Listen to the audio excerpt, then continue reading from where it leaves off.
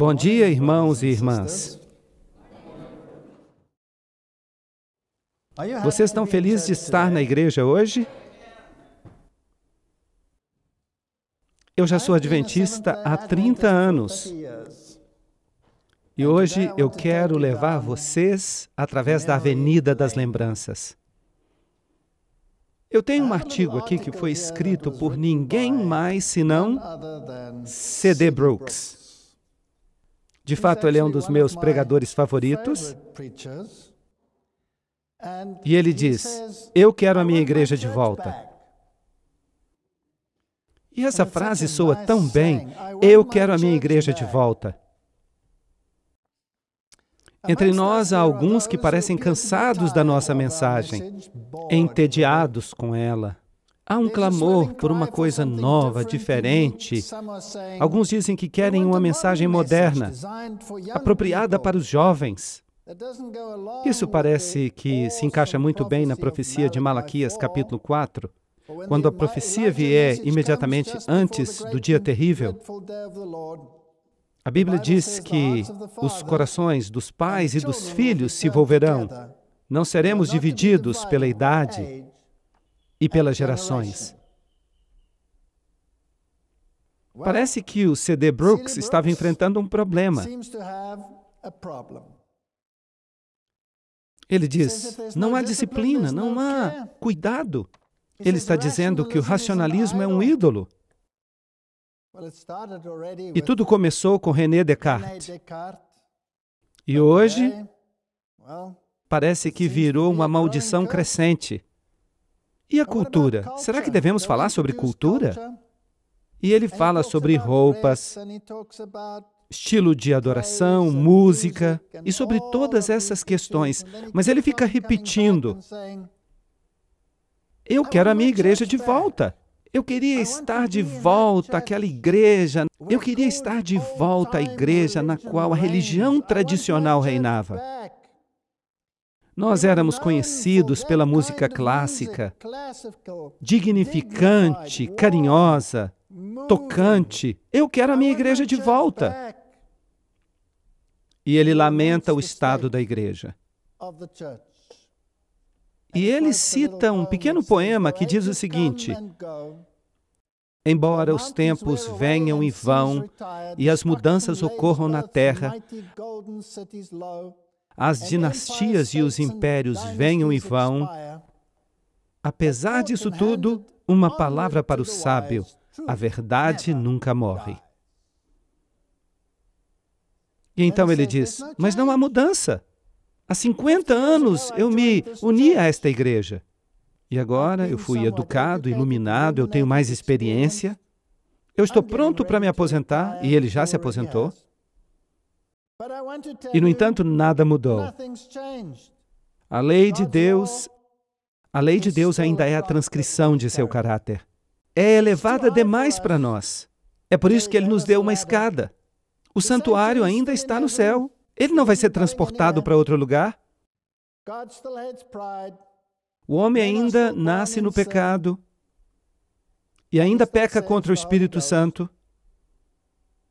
E ele diz: Nós precisamos de um reavivamento, precisamos voltar às origens. Eu quero a minha igreja de volta. E eu quero falar um pouquinho sobre essa questão. Ele escreveu um livrinho muito bom, intitulado A Separação do Mundo. De fato, o autor é um tal de Charles H. Watson, presidente da Associação Geral da Igreja Adventista do Sétimo Dia, de 1930 a 1936. Isso é tudo coisa velha, perceberam? Coisa velha. Puxa vida, vocês sabiam que o Evangelho tem dois mil anos de idade? De fato, mais. E Watson está aqui falando à conferência geral. E ele diz o seguinte: o homem, de sua própria vontade, eliminou os fundamentos. Mas o fato de o homem eliminá-las não destruiu os fundamentos. Esses fundamentos são a vontade de Deus, a essência de toda a verdade. Ou nós construímos sobre esses fundamentos, ou construímos sobre a areia. E então ele lamenta a triste história da jornada dos filhos de Deus na história. Tudo começou de forma tão maravilhosa com Adão e Eva, toda aquela inocência do jardim do Éden. Mas eles foram enganados pela serpente. E o homem caiu do seu estado elevado. E no fim houve derramamento de sangue, lágrimas, sofrimento e a destruição por meio do dilúvio. Será que Deus fracassou? Ele ainda tinha uma família com ele, eles não eram perfeitos. Mas ele pôde começar tudo de novo com eles. Mas demorou quanto tempo para eles capitularem de novo? E Nimrod se tornou um guerreiro poderoso e ele lutou contra o Senhor. E a história nos conta o resto. No final, Deus chamou Abraão e os filhos de Israel para serem os representantes de Deus neste planeta. Mas quão terrível foi o fracasso deles! Tremendo fracasso. Eles saíam com resmungos em vez de gritos. E então Deus suscitou a igreja. Ele suscitou a sua igreja neste planeta. E eles saíram com um grito de guerra e pregaram o Evangelho. Mas Paulo já lamentava na sua época. Havia forças em operação para subjugar a mensagem. E então a igreja entrou num período histórico chamado de período das trevas. Porque a igreja começou a buscar o mundo, começou a buscar o favor do mundo e se tornou mais importante estar entre os reis e com personalidades mundanas do que estar com Deus. E por isso Deus suscitou a reforma.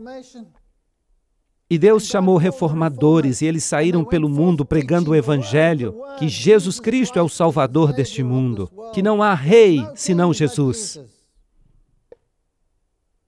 Mas a reforma perdeu o seu ímpeto, até colocar o rabo entre as pernas e ficar à deriva, à deriva, à deriva, à deriva, à deriva, de volta para Roma. Aí Deus suscitou um remanescente e Deus disse ao remanescente: preguem a mensagem, toquem a trombeta com a mensagem clara para o mundo, restaurem o evangelho eterno.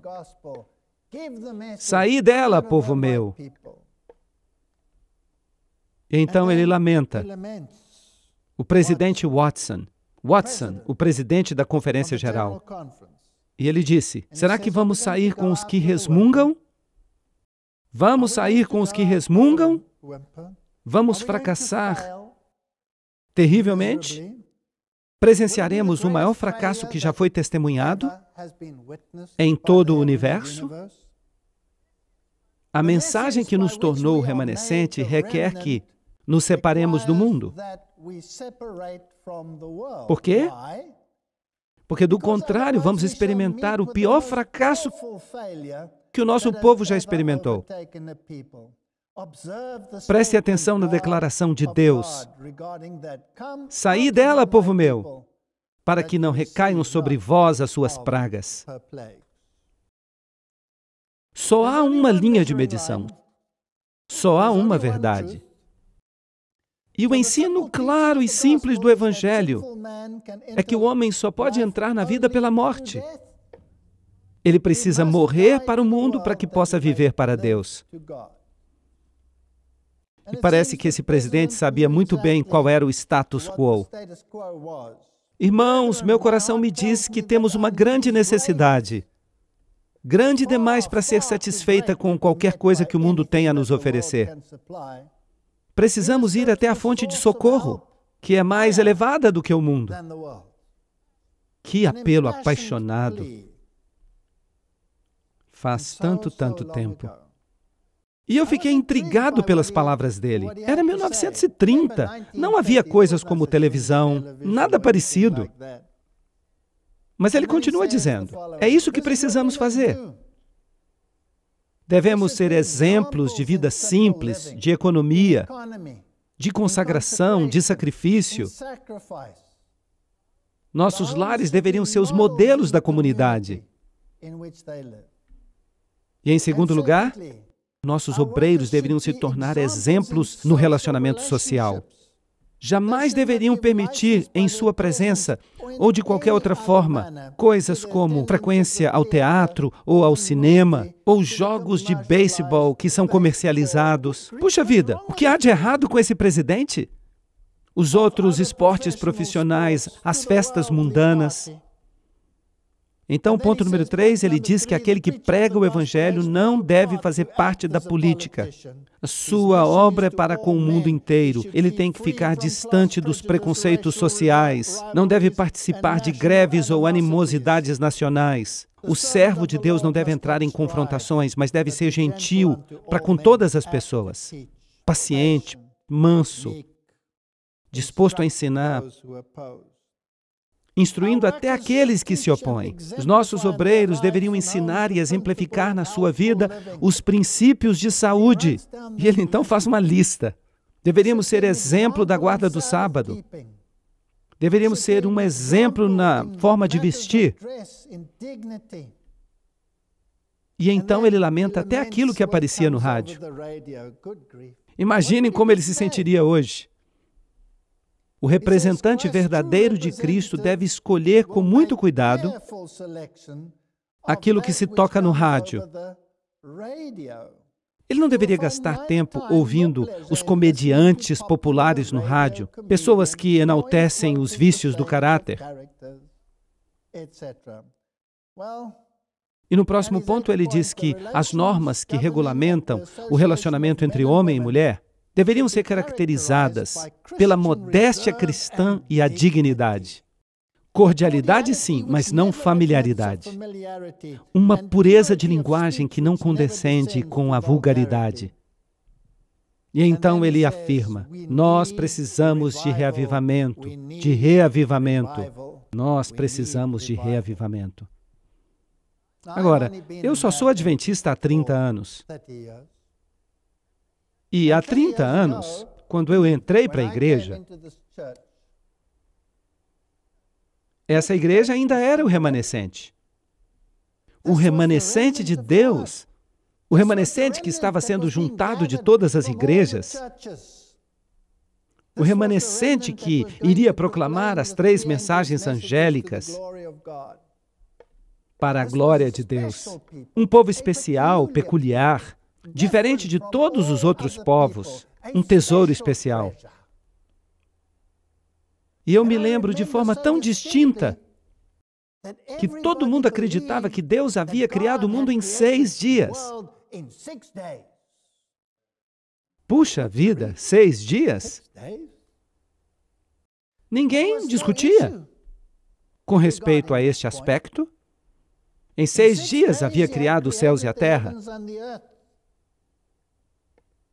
E ele era o Salvador e estava ministrando no santuário celestial. E ele tinha entrado no Santíssimo em 1844. Desde então, o movimento do Ford tirou Jesus dali. E agora pensam que o santuário se desintegrou no céu. Ou talvez que tenha caído do céu. Mas C.D. Brooks diz que o santuário ainda está lá, mesmo que as pessoas queiram removê-lo tirando do seu alicerce. A verdade é a verdade. Há 30 anos, quando você entrava numa igreja adventista do sétimo dia, todo mundo sabia quem era. A mulher sabia que era mulher e o homem sabia que era homem. Mas hoje há tanta confusão. E hoje, projetos com o intuito de unir a todos Sim, hoje há projetos que querem unir a todos. Bem, naqueles dias, havia projetos de separação separação do mundo. Parece que tudo virou de ponta cabeça, as coisas estão estranhas. O que aconteceu com a nossa igreja? Será que a verdade mudou? Ou foi a nossa atitude que mudou? Eu leio Provérbios capítulo 7, uma parte que talvez possa ser interpretada de formas diferentes. Capítulo 7, verso 1. Meu filho, guarda as minhas palavras e observa os meus mandamentos. Lembram quando Jesus disse que os seus mandamentos não são um fardo?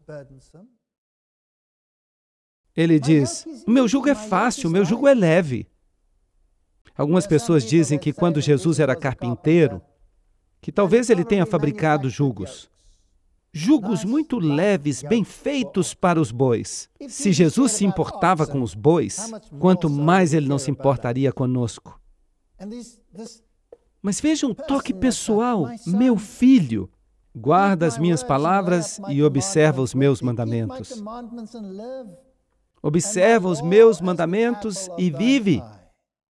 Amarra-os aos teus dedos, escreve-os nas tábuas do teu coração. Dize para a sabedoria: Tu és a minha irmã, e chama a compreensão de tua parente. E a conclusão de Salomão a respeito da natureza da sabedoria pode ser resumida a temer a Deus e guardar os seus mandamentos, porque esse é o dever de todo homem. E aí está o bastião que Deus criou para o seu remanescente. Ele os separou do mundo. E para isso ele usou o sábado como se fosse uma faca. E ele os trouxe à comunhão consigo, para que nós reconhecêssemos a nossa origem, porque só quando reconhecemos a nossa origem é que podemos saber qual é o nosso destino. E por isso ele nos chamou do mundo, para fazermos parte do seu remanescente. Era nisso que todo mundo acreditava há 30 anos, quando eu entrei para a igreja. Hoje há movimentos que dizem: não, não, não.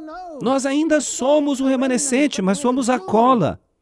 Nós não mais separamos, nós colamos. Nós temos a capacidade de colar todo mundo, porque temos a capacidade de alcançar a todos, porque temos a lei, temos Jesus, nós temos a saúde, nós temos todas estas coisas, nós somos a cola. A Bíblia diz para sair e se separar, para ser cola. Então, onde está a sabedoria, Salomão? Provérbios 7,5 diz: Para te afastar da mulher estranha, da estranha que te bajula com as palavras, pois pela janela da minha casa eu contemplei o exterior e discerni entre os jovens outros jovens vazios de entendimento. Ele está lá na casa dele. Onde fica a casa dele? É a igreja dele. Ele está na casa dele, na igreja de Deus. Ele olha e percebe que alguns estão se desviando e são vazios de entendimento. Quem são essas pessoas sem entendimento, comparadas com aqueles que têm entendimento? Daniel capítulo 12, versículo 3. E os sábios brilharão como a luz do firmamento. E aqueles que levarem muitos à justiça, como as estrelas para todo sempre. Mas tu, Daniel, fecha as palavras e sela o livro, até o tempo do fim. E muitos correrão de um lado para o outro, e o conhecimento aumentará. Muitos serão purificados e serão embranquecidos e testados. Mas os ímpios continuarão a ser ímpios, e nenhum ímpio compreenderá. Mas os sábios compreenderão. E nós acabamos de ler que os sábios têm os mandamentos de Deus no seu coração. E eles estabeleceram uma diferença entre o mundo e o povo de Deus. O povo de Deus é chamado para ser luz, uma luz especial para o mundo. Mas se nós não formos diferentes, então o mundo, se nós não parecermos diferentes, como é que as pessoas serão atraídas a esta verdade? Provérbios 7, verso 8. Passando pela rua perto de uma esquina, ele seguiu o caminho até sua casa. Então ele saiu da sua casa e ele foi para a casa dela. A Bíblia usa esse símbolo. A mulher pura e a mulher apóstata. Aqui está falando sobre a igreja. Será que nós estamos à deriva? Em direção à casa dela? No ocaso, ao anoitecer, na noite negra e escura, ela sempre trabalha nas trevas. Ela é sempre clandestina. E o que, que a luz tem em comum com as trevas? Por que, que os homens se sentem atraídos pela escuridão? E eis que se encontra com uma mulher, vestida como prostituta. Agora, qual é a roupa da prostituta? Não é carmesim? E as Escrituras descrevem uma mulher assim na Bíblia, dizendo que ela se veste de carmesim. Ela é barulhenta e teimosa. Os pés dela não permanecem em casa. Uma hora ela sai, outra hora ela vai para a rua. E ela fica à espera em cada esquina. Ela é universal, ela está por toda parte. Os tentáculos dela estão espalhados por toda parte. Ela então vem até ele e o beija. E com uma face desavergonhada, ela diz: Eu trouxe uma oferta de paz. Uau, ela é religiosa. Ela trouxe uma oferta de paz. Eu tenho uma oferta de paz hoje. E eu já cumpri os meus votos. Ela é muito religiosa. E aí eu vim ao teu encontro, diligentemente buscando o teu rosto, e eu te achei.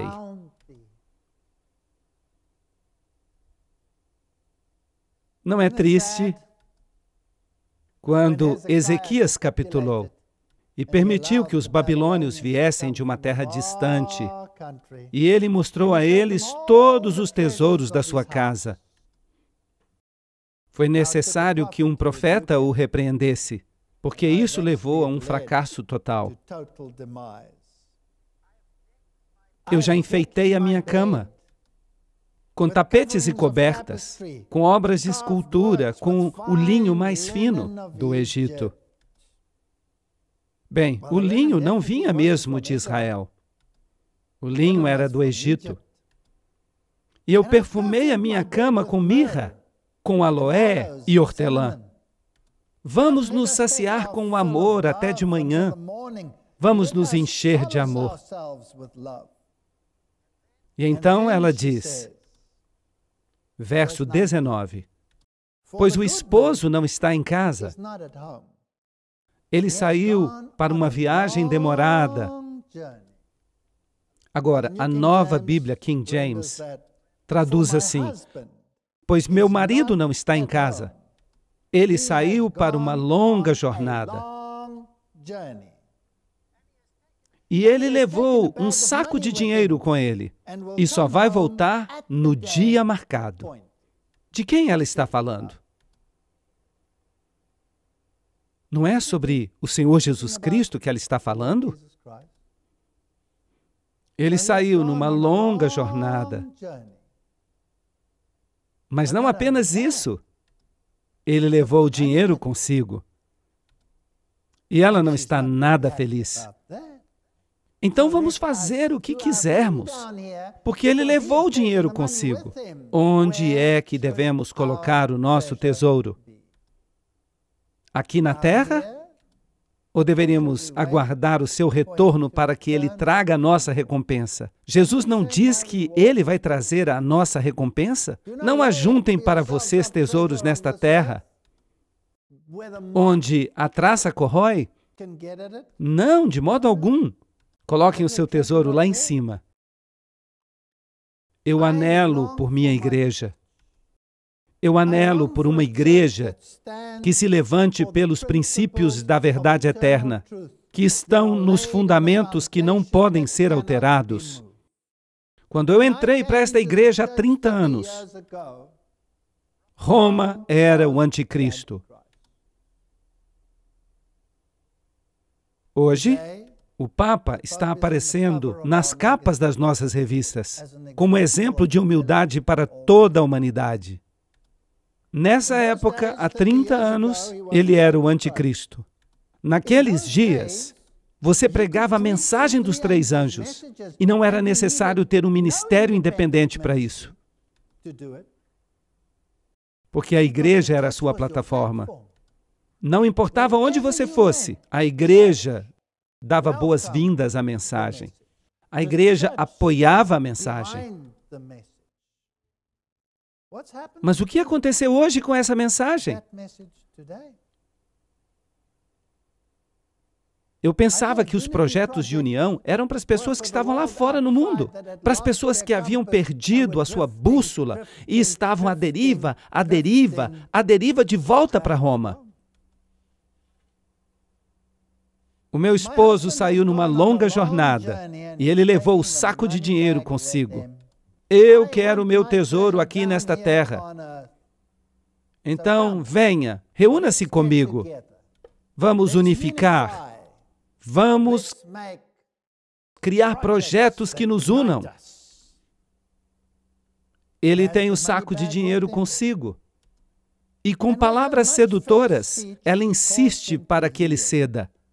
Com a bajulação dos seus lábios, ela o força.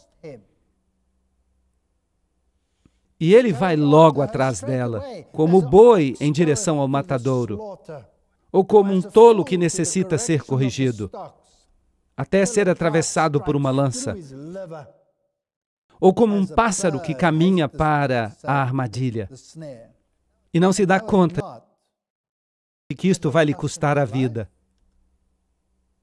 Ouçam as minhas palavras, prestem atenção nas palavras da minha boca, que o seu coração não siga os caminhos dela.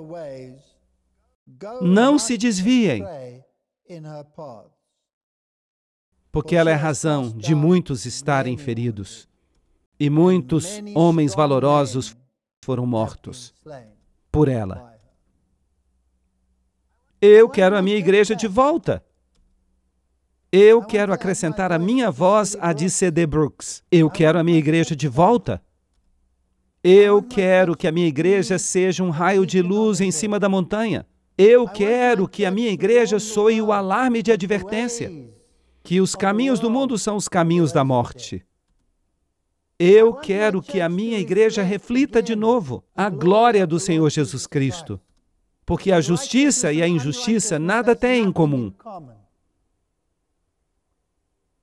Eu quero que a minha igreja seja o remanescente, o lugar de reunião que nos permitirá entrar em Canaã. Nós precisamos soar a mensagem de que Babilônia Grande caiu e que se tornou a habitação de demônios, toca de toda ave imunda e de todo espírito. Mas hoje em dia esta mensagem não é mais bem-vinda. Não! As pessoas que estão pregando uma mensagem assim deveriam ser silenciadas, porque todos nós já sabemos que a unidade, a união, elas representam força entre o remanescente e o mundo. Nós perdemos a bússola, nós perdemos o enredo, nós não sabemos mais a diferença no plano da salvação entre Babilônia e o remanescente. Nós não mais entendemos a diferença. Porque aquilo que tem uma boa aparência, tem uma boa sensação, deve ser bom. O amor não é um sentimento. O amor é um princípio. O amor é como a agulha que é fiel ao polo. O amor nunca capitula. O amor está fundado numa rocha eterna. Nós estamos encrencados. E muitos dos nossos homens valorosos estão sendo destruídos. Está escrito que Babilônia é a mãe das prostitutas. E suas filhas são aquelas igrejas que se apegam às suas doutrinas e instruções. uma aliança ilícita com o mundo, deve ser evitada. A mensagem de Apocalipse 14, anunciando a queda de Babilônia, deve se aplicar àqueles corpos religiosos que já foram puros, mas se tornaram corruptos. Já que esta mensagem segue a advertência do juízo, ela precisa ser anunciada nos últimos dias. Portanto, ela não pode se referir à igreja de Roma, porque essa igreja já caiu faz muitos séculos. Então, a que, que ela se refere? E se a Bíblia diz: saiam dela, povo meu, onde é que está o povo de Deus hoje em dia? Onde está a maioria do povo de Deus? Eles devem estar nas igrejas caídas, que professam amar a Jesus Cristo. Nós pensamos que não há diferença hoje entre Roma e as outras igrejas. Nós todos professamos a Jesus Cristo. Mas a Bíblia é muito clara. O anticristo continua sendo o anticristo e a marca da besta continua sendo a marca da besta. E nada de fato mudou. O alicerce continua o mesmo. Não há diferença. A reforma protestante tirou Jesus do labirinto das trevas e colocou-o de volta no pedestal, onde é o seu lugar. A reforma protestante devolveu a Jesus a posição de único salvador do mundo, colocando a expiação no centro. Sem o derramamento de sangue não há remissão dos pecados. Aí está o, âmago do cristianismo. Aí está o cristianismo que tem por base a Bíblia. Roma ensina que Cristo não tinha que morrer por você.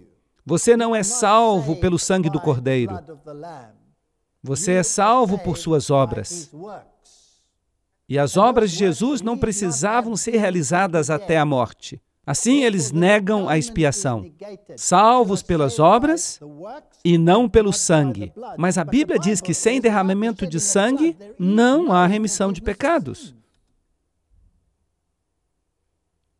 A Bíblia nos ensina que Jesus Cristo se tornou homem, que Jesus desceu até a terra, tornando-se a escada que nos conecta à divindade. E por sua humanidade, ele conecta a divindade à nossa humanidade. E a Bíblia ensina plenamente que ele desceu até a terra. A Bíblia nos ensina que Jesus Cristo tocou os leprosos. Ele é o único que estendeu a mão e os tocou. Quando um leproso aparecia, o leproso gritava: impuro, impuro. E o que, que as pessoas faziam? Saíam correndo. Mas o que Jesus fez? Ele se aproximou e tocou o leproso. E o leproso ficou curado. Jesus desceu até a terra. O catolicismo ensina que Jesus não desceu inteiramente até a terra. Ele era santo demais para descer inteiramente até a terra, até essa humanidade caída. E por isso eles criaram uma circunstância, um veículo, uma espaçonave, se você preferir, por meio da qual ele ficava acima do nível da terra. E eles declaram isso através do dogma da conceição imaculada, de modo que a concepção de Maria se dá de forma imaculada, para que eles tivessem um veículo por meio do qual o Filho de Deus pudesse vir até a humanidade. Então, a Madre Teresa diz: se não houvesse Maria, não haveria Jesus. E num dos meus sermões, eu lembro a ela: como é? Sem Jesus é que não haveria Maria. Porque antes que Abraão fosse, ele era. E porque ele não desceu inteiramente até a terra, ele necessita de mediadores. E aí a igreja assume uma posição mediadora. E os santos assumem uma posição mediadora. E Maria assume uma posição mediadora. Mas Satanás sempre acusou a Deus de ser injusto. Como Deus pôde ousar lançá-lo fora do céu, redimindo apenas o homem? Se Deus fosse consistente, então Deus precisava ser constante em suas ações. E se o salário do pecado é a morte, então a justiça exige a morte.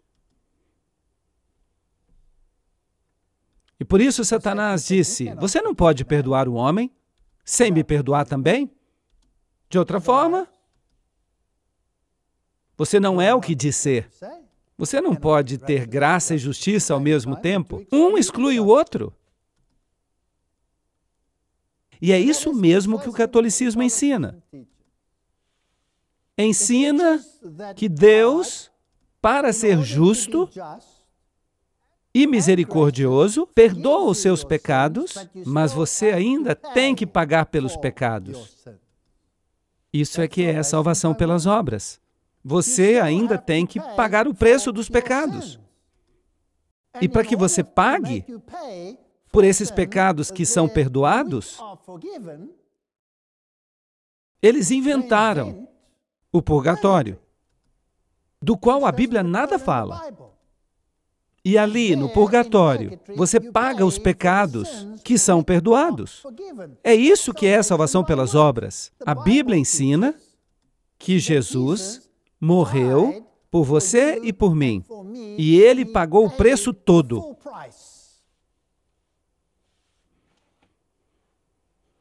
E eu me faço a seguinte pergunta: como é que as pessoas não conseguem entender isso? Como elas não conseguem compreender a diferença entre esses dois planos de salvação? Em que um deles não traz salvação alguma, mas o meio de alcançar a grandeza pela sua própria força pagando o seu próprio preço, negam a expiação, pagam pelos próprios pecados. Quando Jesus já pagou tudo, eu devo tudo a Ele. Não podem nem cantar os hinos do inário. Não podem cantar. E então, Ele concedeu todo o poder para aliviar o sofrimento através da igreja. Dizem que ele não desceu inteiramente à terra e você não pode ir a ele, tem que ir à igreja. E o Papa Francisco diz: ele anunciou que de dezembro deste ano, durante um ano, nós teremos um tempo especial de graça, no qual haverá indulgências. Porque a igreja há de libertar as pessoas do sofrimento, do pecado do outro lado. Como é que é? Como é que essa lógica funciona? Como é que, logicamente, você pode libertar alguém das consequências do seu pecado, sofrimento, se o seu dogma ensina que a justiça exige que você pague? Aí eles inventaram um truque muito interessante, que eles chamam de o armazém da igreja em que os méritos adicionais de todos os santos que já morreram e os méritos adicionais de Maria, pessoas que fizeram muito mais do que era necessário para que elas fossem para o céu, os santos também. Assim, o Papa pode pegar os méritos adicionais dessas pessoas e aplicá-los ao caso de uma pessoa que tem poucos méritos. E assim libertar essa pessoa do purgatório.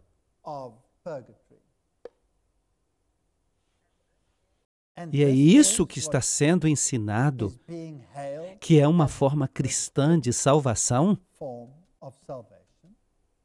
Isso nega Jesus, isso marginaliza Cristo, estabelece sobre o trono a pessoa de um homem falível, que toma o lugar de Cristo, e aí dizem que ele é infalível.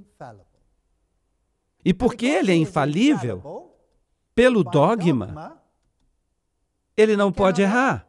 E porque ele não pode errar, é inteiramente necessário que toda pessoa se sujeite ao seu poder para que seja salva. Como é possível que, tendo tantos projetos no mundo, nós parecemos indicar que não há diferença entre o protestantismo e o catolicismo hoje em dia? Eu fiquei intrigado ao ler, no espírito de profecia, uma declaração. Jesus era protestante.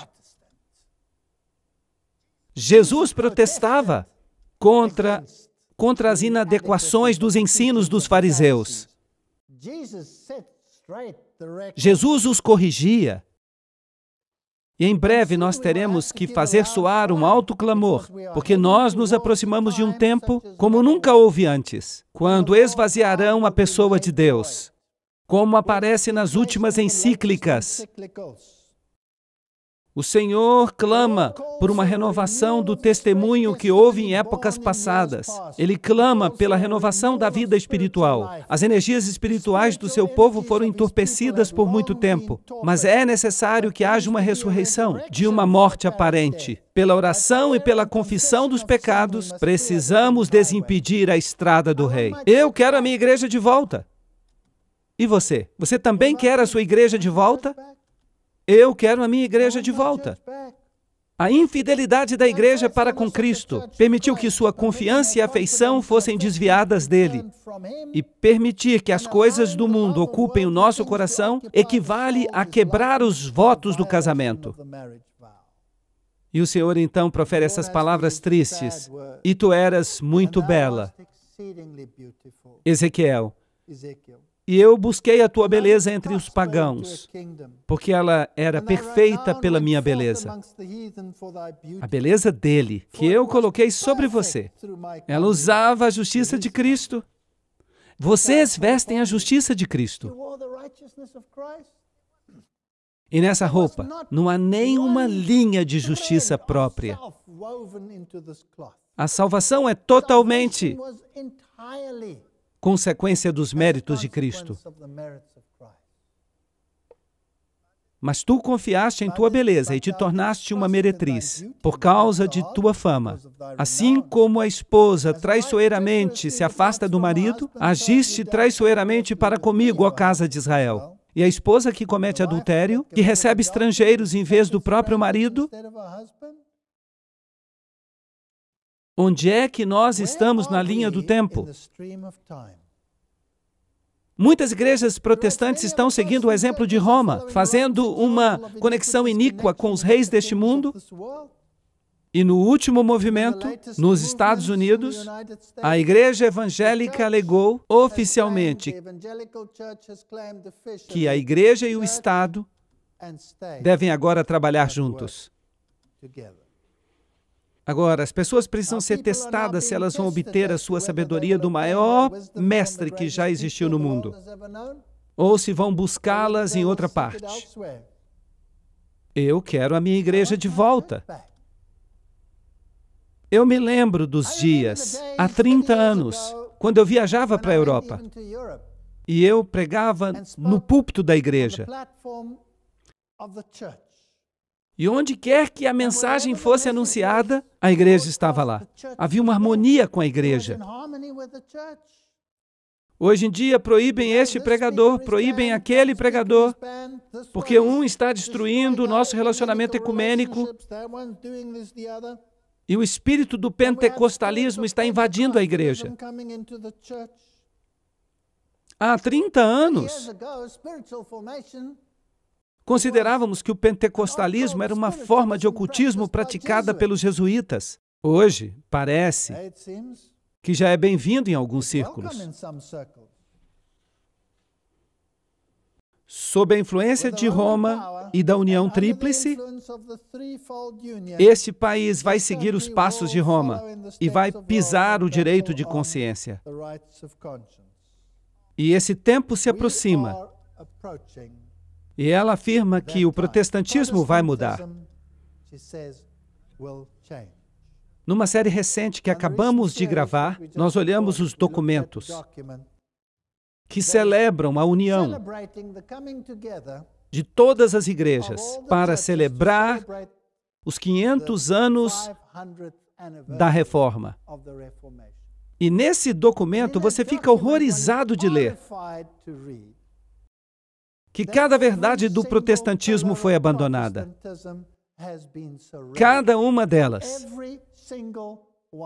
até a aceitação da Eucaristia como sendo o corpo e o sangue literais de Jesus, até a aceitação de que os sacerdotes têm a prerrogativa de perdoar pecados, até a aceitação da infalibilidade de um homem nascido mortal, sem qualquer peso na consciência.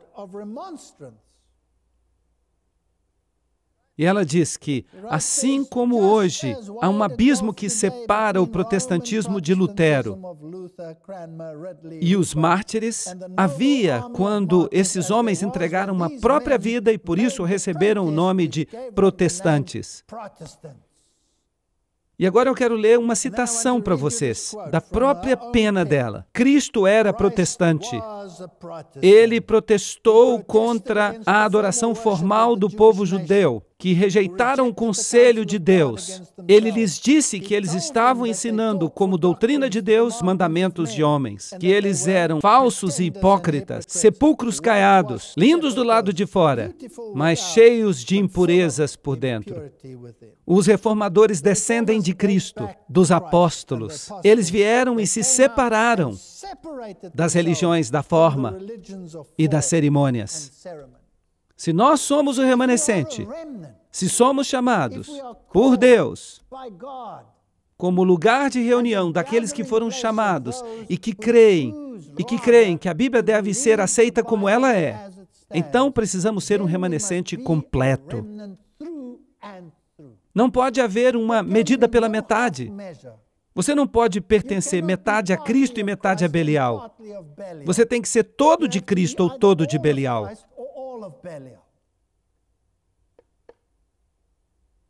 Eu quero a minha igreja de volta. Eu a quero de volta. Um estudo da Bíblia com muita oração mostraria aos protestantes o verdadeiro caráter do papado e faria com que eles ficassem horrorizados e se afastassem dele. E hoje nós fazemos cara bonita. E as pessoas são enganadas do lado direito, do lado esquerdo e no meio. E os nossos melhores homens, muitos dos nossos líderes, acabam fazendo um esforço de silenciar as pessoas que tentam expor esse poder. Eu quero a minha igreja de volta. Nós não devemos formar uma confederação com o mundo, supondo que, se fizermos isso, nós realizaremos mais. Se alguém tentar impedir o avançamento da obra de Deus da forma como Deus indicou, essa pessoa desagrada a Deus. Nenhum aspecto da nossa fé que nos tornou o que somos hoje deve ser enfraquecido. Nós temos os velhos marcos da verdade. A experiência e o dever devem nos ajudar a ficar firmes na defesa dos nossos princípios, em plena vista do mundo. Nós não devemos sair por aí com resmungos? Será que a causa de Deus vai ficar para trás de novo? Será que ela vai desaparecer?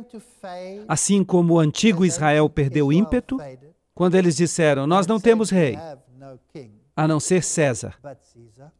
Ou nós vamos nos levantar como povo? Será que nós vamos dizer: Basta, basta? Nós não queremos o sincretismo. Nós não queremos cultos mundanos, sincronizados, misturados com a adoração celestial. Nós queremos cantar como os anjos cantam. Queremos adorar como os anjos adoram. Queremos cobrir a nossa cabeça e fixar os nossos olhos na lei. Queremos olhar o propiciatório e compreender o plano da salvação. Queremos saber quem é o nosso Salvador. Queremos nos levantar por Sua justiça. Queremos defender a Sua lei, porque é uma transcrição do seu caráter. Nós nada temos do que nos envergonhar. Nada. Jeremias escreve. Ó oh, Jerusalém, teu coração cedeu à impiedade. Limpa o teu coração da impiedade, para que tu sejas salva. Quanto tempo mais permanecerão esses pensamentos ímpios na tua cabeça? Porque se anuncia a tua aflição desde o monte de Efraim, fazendo menção a todas as nações sobre a punição de Jerusalém, que observadores dos países mais distantes levantarão uma voz contra as cidades de Judá. O que está acontecendo aqui? Os observadores estão à porta. Vão falar no Congresso. Como guardadores do campo, eles a repreenderão, porque ela tem sido rebelde contra mim, diz o Senhor. Tu mesma buscaste estas coisas para ti. Esta é a tua impiedade, coisas amargas que vão até o teu coração. Meu coração, meu coração, dói até o meu coração. E meu coração faz um ruído dentro de mim. Não posso mais ficar em paz, porque a minha alma ouviu o som da trombeta, o alarme da guerra. Como Jeremias, eu posso dizer que estou escutando. Eu consigo ouvir o som da guerra. E muitos grandes homens estão dormindo sobre o linho egípcio. Destruição sobre destruição, e toda a terra jaz arruinada. Minhas tendas, as minhas cortinas se estragam. Por quanto tempo mais verei o estandarte e ouvirei o som da trombeta? Porque o meu povo é tolo. Não me conhecem. São crianças teimosas e não têm nenhuma compreensão. São sábios para fazer o mal, mas não têm conhecimento de como fazer o bem. Será que queremos pertencer a essa categoria, como aconteceu um dia com o antigo Israel? E Jesus nos dá algumas parábolas para a época em que vivemos. E ele fala sobre um homem que possuía uma casa e plantou uma vinha. E ele arou a terra. E ele plantou a sua vinha e construiu uma torre. E ele deixou trabalhadores e foi para uma terra distante. E quando chegou a época da maturação dos frutos, ele lhes enviou um representante. E vocês conhecem a história. Eles o apedrejaram, o espancaram, o mataram. E depois ele enviou o seu filho. O meu filho eles terão que aceitar. Mas eles disseram: aí vem o herdeiro. Vamos matá-lo. A humanidade não muda nunca.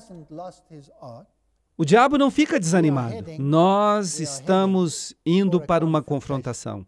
E a pergunta é: quem vai ficar do lado do Senhor? Quem vai representá-lo? Como é que vai ser esse remanescente? Será que o remanescente virou cola, espalhada pelas nações, para colar o mal à justiça? Ou será que o remanescente se separou do mundo? Será que o remanescente repensou a sua posição? Será que o remanescente está tomando a sua posição sob o estandarte ensanguentado do príncipe Emanuel? Essa é a pergunta que precisamos fazer. Mateus capítulo 24, verso 42. Acautelai-vos, portanto, porque não sabeis a hora em que vem o vosso Senhor. Mas sabei isso, que se o dono da vinha, isto é, o chefe de família, soubesse a que horas viria o ladrão, ele teria ficado de vigília. E não permitiria que a sua casa fosse arrombada. Portanto, Estai prontos, porque quando julgueis que não mais virá o Filho do Homem, porque o Filho do Homem virá na hora em que não julgueis. Quem é o servo fiel? Quem é o Senhor? Quem é o governante da casa, que lhes dá o seu alimento a seu tempo? Esta é uma boa pergunta. Bem-aventurado é o servo, que quando o seu senhor vier, há de encontrá-lo fazendo a sua vontade. Em verdade, em verdade vos digo que ele há de colocá-lo como mordomo de todos os seus bens. Mas, e aquele servo mau dirá no seu coração: O meu senhor se demora. Nós não estamos falando de uma pessoa mundana aqui. Nós não estamos falando de uma pessoa lá de fora. Nós estamos falando do servo. Estamos falando de alguém que está na igreja, que diz: O Senhor se demora. E essas pessoas que estão sempre falando que o mundo vai acabar e que criam terror entre nós. Mas nós temos um evangelho de paz, de amor. Parem com essa pregação sobre perigos. Sim, nós temos muitos homens valorosos que estão pensando assim.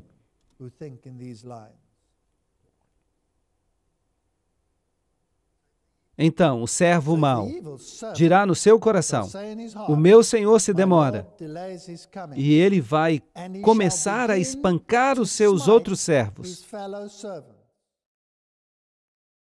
Em outras palavras, se alguém se coloca em posição elevada na igreja, como líder, e começar a espancar os demais servos que estão pregando a mensagem, essa pessoa vai ter um problema sério. E então ele for beber e comer com os bêbados. Isso significa que o servo então passou a comer e a beber com os bêbados? Mas quem é o bêbado? A Bíblia fala de duas categorias de bêbados. Na palavra de Deus, uma categoria diz respeito àqueles que estão embriagados com o sangue dos santos. Nós sabemos quem são eles. Durante 1260 anos, eles perseguiram o protestantismo e perseguiram as pessoas que criam na Bíblia. E por isso a Bíblia fala que estão embriagados com o sangue dos santos. Aí está o primeiro grupo de bêbados. Mas há outro grupo, aqueles que estão embriagados com o vinho de Babilônia que aceitaram suas doutrinas, que abriram mão do conhecimento especial da palavra de Deus em busca de atenção mundial. Então, se você começar a beber e a comer com os bêbados, então é porque você faz parte do movimento ecumênico.